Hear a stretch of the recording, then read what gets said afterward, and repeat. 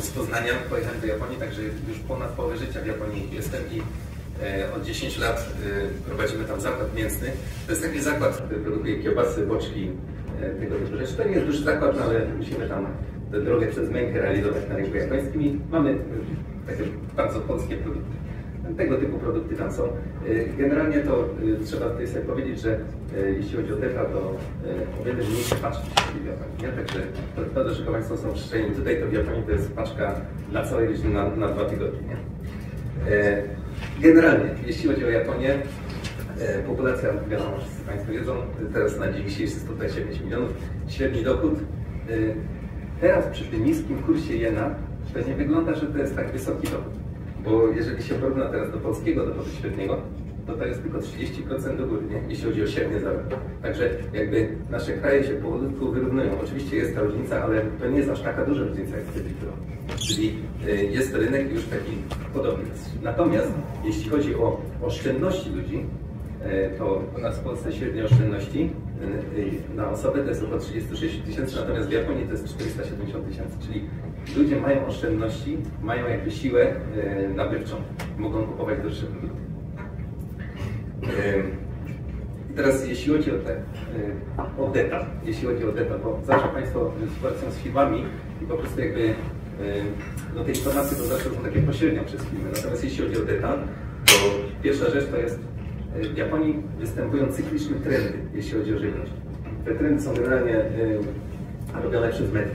I media y, po prostu kreują jakiś trend, coś się dzieje tam przez rok, przez dwa, przez trzy lata, na tym duże firmy dużo zarabiają i potem jest coś nowego.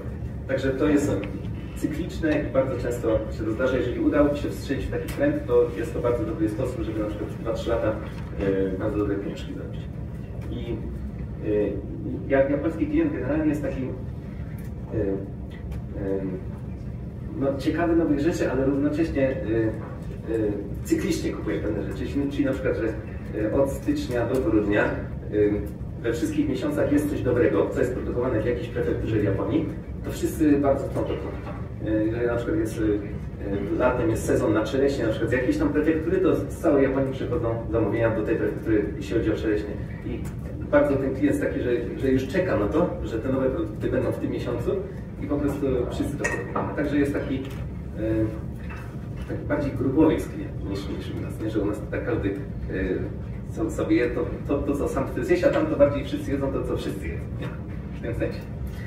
Y, Potem, jeśli chodzi o ten trzeci punkt, to klient jest jednak przyzwyczajony do bardzo wysokiej ja- jakości produktów i to jeśli chodzi o sam produkt i również ten y, cały after follow y, po sprzedaży produktu. Czyli jeżeli coś tam jest nie tak, to od razu po prostu klienci zwracają te produkty i tak dalej. Tam nikt nawet nie pyta. y, Wszystkie reklamacje są po prostu przyjmowane w 100% i klienci tam są do tego przyczajeni. Czyli jeżeli występują jakiekolwiek problemy, to klient japoński jest zawsze przyzwyczajony do tego, że ta reklamacja będzie rozproszona w 100% i, nie, właściwie to nie będzie żadnych mm, jakby pertraktacji w tej sprawie. Nie?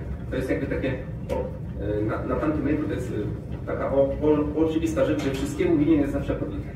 To trzeba sobie y, uświadomić. I y, jeśli chodzi o czwarty punkt, to y, społeczeństwo się starzeje, y, czyli no, coraz większy będzie nacisk na produkty wysokiej jakości, właśnie nisko, o niskiej zawartości cukru, niskiej zawartości tłuszczu, produkty dietetyczne i z dużą zawartością białka. Ostatnio jest taki trend, że właśnie od 5 lat na wszystkich opakowaniach jest dokładnie dużymi literami napisane, ile białka jest w każdym produkcie. Czyli jednak ludzie na to bardzo zwracają uwagę. E, Jeśli chodzi o produ- produkty wysokiej jakości, to jest naprawdę bardzo e, dobry rynek w Japonii. Tutaj kilka przykładów w tej prezentacji dałem. Na przykład jest taki zestaw chlebów na zakwasie wypieczonych, to jest 50 dolarów za taki zestaw chlebów. Jakieś ciasteczka z czekoladą i to wszystko jest cała historia, że tam od 100 lat człowiek tą czekoladę ręcznie robi i tak dalej, tak dalej. Na przykład e, taki zestaw czekolady 200 dolarów na przykład, nie? Albo czereśnie. Yy, czereśnie takie opakowane i to każdą czereśnię tam pojedynczo pakują do pudełeczka, to takie czereśnie mogą kosztować na przykład 70 dolarów. Tak? Albo jabłka jakieś tam yy, od iluś lat po prostu modyfikowane i o takim o, takiej strukturze, że tam jest tak, tak, tak jakby miód w tym jabłku, nie? Takie jabłka na przykład 37 dolarów, nie? Za, za kilo, za, za 5 do 7 jabłek. Czyli ten rynek jakby tych wysoko jakościowych produktów jest, jest bardzo prężny. Miód na przykład 56 dolarów, truskawki, tak, tak się pakuje, drogie truskawki, wie pan. Poduje się specjalne właśnie kolory i na przykład 12 truskawek kosztuje 150 dolarów. Czyli jest, jest taki po prostu rynek na, na tego typu produkty. Żeby pomyśleć właśnie jak podejść do tego rynku, to wtedy to jest bardzo ciekawy rynek i no, można tu dużo jakby zarobić pieniążków. E, wołowina Wagyu, no oczywiście tu jesteśmy na e, Radzie Drobiarstwa, ale e, wołowina Wagyu to jest najdroższe mięso w Japonii. Na przykład te dwa steki e, e, 300 dolarów, tak? 700 gram. Tak, tak, przepraszam bardzo. Okay.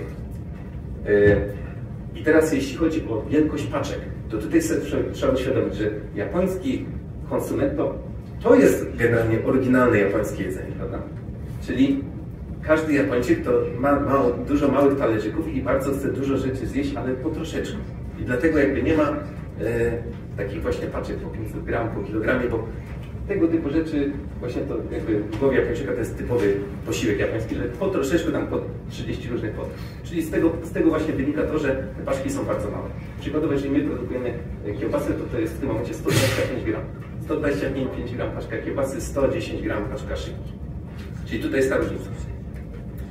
E, jeśli chodzi o rynek japoński, podejście, wejście na niego z zewnątrz, jest, no jest to trudny rynek, bo to jest i kraj wyspiarski, i również taki e, przecież do 1852 54 roku to, to, to, właściwie był to kraj zamknięty.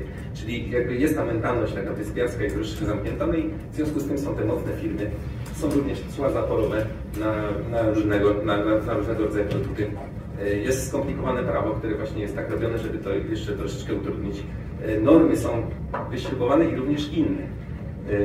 Na przykład jeśli chodzi o produkty przykładowo z mięsa, to no na przykład u nas się przeciwzbrylacze E551 się na przykład ładuje do produktu, a na przykład w Japonii jest to zabronione. Czyli trzeba ten przeciwzbrylacz wyjąć i po prostu zrobić nową linię Japonią. No i różne takie są właśnie takie małe niuanse, które jakby e, bardzo często powodują to, że trzeba zrobić nową linię w sensie no, nową linię produktu. E, no poza tym są certyfikaty, no tutaj pan, panowie na ten temat już dużo opowiedzieli. No i te braki zrozumienia wynikające z różnic, z różnic kulturowych. E, to jeśli chodzi o mięso, to tutaj są różne tematy, ale no na przykład ziemniaki. To dla Polaka ziemniak to ziemniak, a dla Japończyka to ziemniaki to tam jest pięć rodzajów ziemniaków, bo ten ziemniak się stosuje do tego, on jest taki twardszy, a ten jest trochę bardziej miękki, to do tego i po prostu jest to niezrozumienie i na tej, na, na z powodu tego to czasami po prostu te biznesy nie wychodzą. E, jeśli chodzi o strukturę handlu, e, no to struktura handlu wygląda tak, że jest importer, dystrybutor, producent, potem są supermarkety, no i oczywiście klient detaliczny.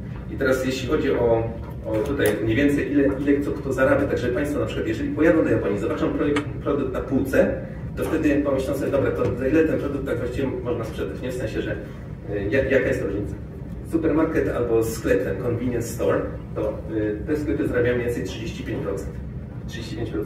Natomiast dystrybutor, importer, to tutaj w zależności od produktu, ale to jest, ta cena się waha między 15 a 30%. Czyli trzeba doliczyć, że to jest 65% narzutu na cenę. Czyli jest troszeczkę droższy ten produkt tam, no ale mniej więcej wtedy, jeżeli Państwo kiedyś mieli okazję do Japonii pojechać i zobaczyć produkt na półce, to wtedy można tak mniej więcej sobie pomyśleć, że tak mniej więcej 40%, 35% ceny to jest ta cena, którą po prostu trzeba zaoferować, żeby to w ogóle miało sens. I są firmy, które są i importerem, i dystrybutorem jednocześnie, oczywiście. Są firmy, które są i importerem, i dystrybutorem, i producentem jednocześnie i po prostu bezpośrednio działają. E, są też supermarkety, są dwie sieci supermarketów w Japonii. Jedna ma 380 sklepów, druga ma 1100 sklepów, które bezpośrednio importują produkty i po prostu na półkach stawiają bezpośrednio importowane produkty z, z całego świata. Są, są też takie ale tylko dwie. E, no i jeśli chodzi o sam przewóz towarów, no to jakby tam jest wszystko, ten centra dystrybucji to jest wszystko skomputeryzowane.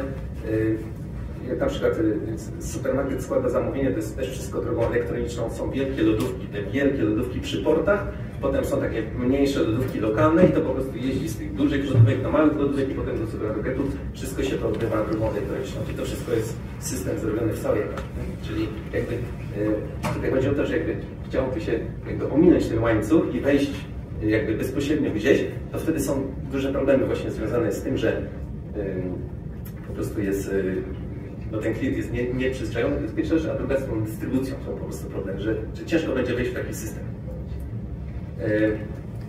No, czyli, czyli po prostu jakby głównym polem działania to są te, te firmy.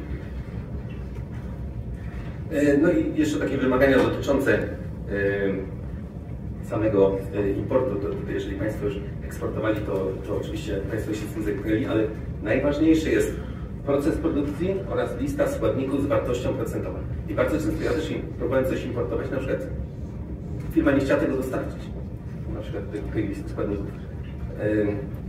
No i wtedy po prostu już nawet nie można zacząć niczego. Czyli tutaj Państwo muszą mieć na względzie, że, że te dwie rzeczy to jest w ogóle najważniejsza rzecz, żeby cokolwiek wystartować. Jeżeli tego nic się nie dostarczy, to w ogóle nawet nie ma rozmowy.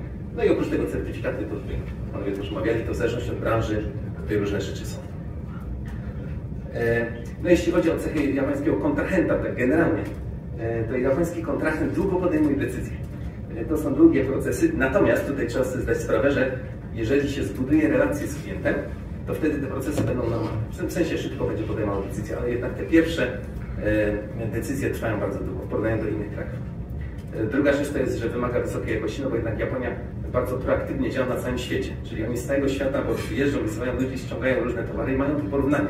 Na przykład jeżeli przykładowo tam e, jakieś warzywa z jakiegoś kraju tam są dobre i oni przyzwyczają do tego rynek, no to wtedy jakby porównują do tego.